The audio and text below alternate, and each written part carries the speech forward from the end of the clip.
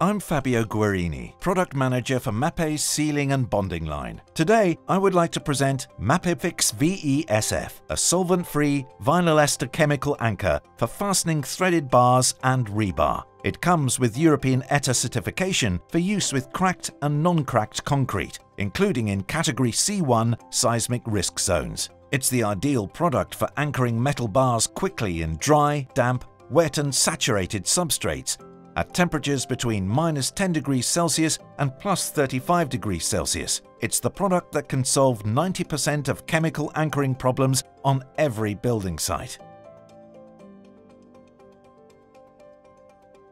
A typical certified application for Mapefix VESF is anchoring threaded bars in concrete, including large diameter bars.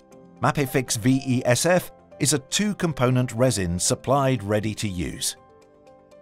Remove the cap and screw on the static mixer supplied with the cartridge. The 420mm cartridge requires a special gun, which can be either manual or electric for coaxial cartridges. Thoroughly clean the inside of the hole to get rid of any loose or detached parts.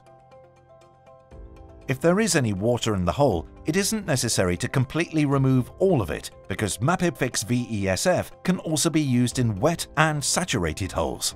When a new static mixer is used, always dispose of at least the first three shots of resin until you obtain a uniform grey colour. Immediately after this operation, inject the resin into the hole starting from the bottom.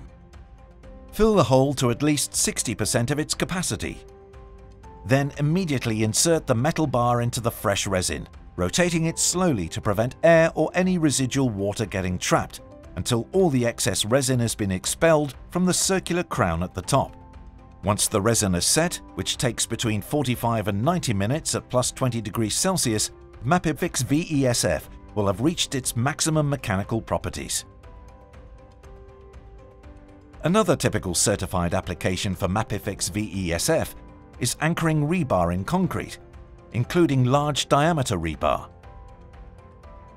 When a new static mixer is used, always dispose of at least the first three shots of resin until you obtain a uniform grey colour. Immediately after this operation, inject the resin into the hole starting from the bottom. Fill the hole to at least 60% of its capacity.